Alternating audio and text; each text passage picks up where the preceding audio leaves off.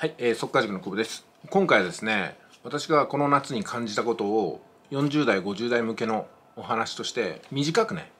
一つの文章として伝えようと思うんで、まあ、もしねあの人生を変えたいなとか何かきっかけをつかみたいなって方はあのしっかりと耳を傾けていただきたいと思います。じゃあ始めます。不愉快な事実を受け止め無力で無気力だった自分を認め、ね、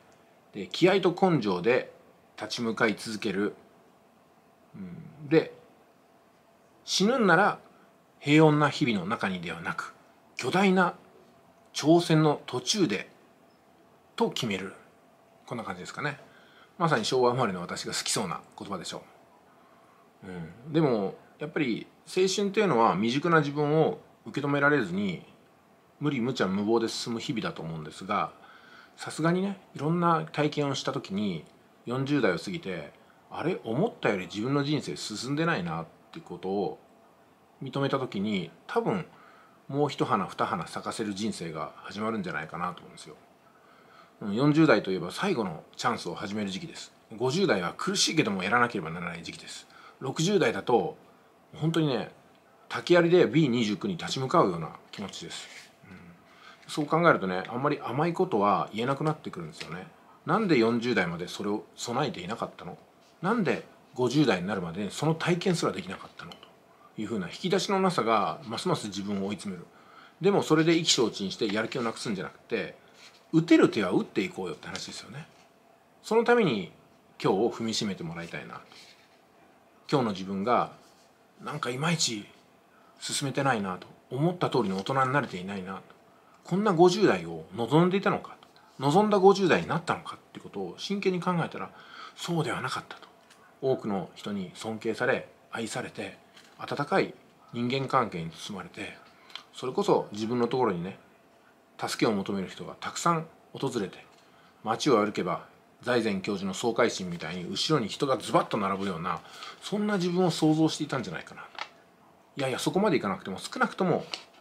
可愛い奥さんがいて子供たちがいる。そしていつも私を歓迎してくれる仕事から帰ると「おかえりお父さん」と言ってくれるようなそんな家庭を思い描いていたんじゃないかな。無念の末に年老いた両親に何もできない自分を嘆くんではなくてね。最大限のことをしてあげてもいや大したことできなかったかなと言えるようなそんな人生を望んでいたんじゃないかなと思った時にやっぱり不愉快なその真実を受け止めてね。いやこれは違うんだと、うん、そんなはずはないんだっていうふうに言うんではなくてやっぱり無力で無気力だった今一つ魂を込められなかった瞬間をやっぱり見つけないといけないかなと思うんですよ。それから気合と根性ですよ。やっぱりどんな時でもやめようかなと思った時でも気合を出して根性を出してね盛り立てていって自分の力で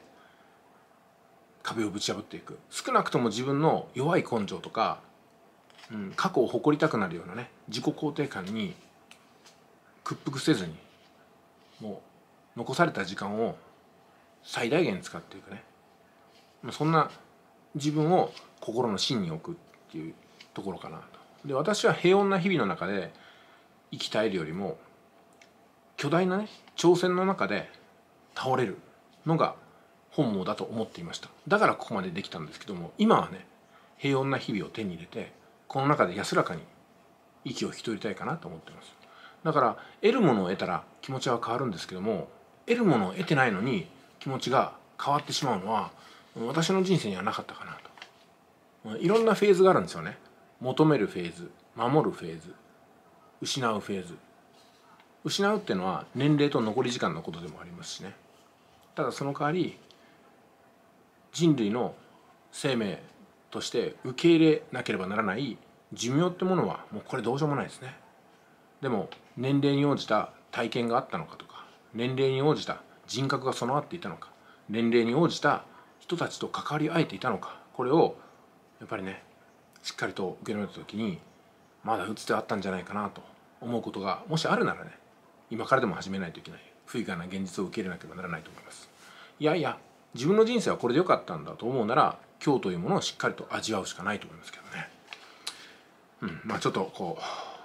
ゲリラ的に動画を上げることになりましたけども。まあ当たり前か。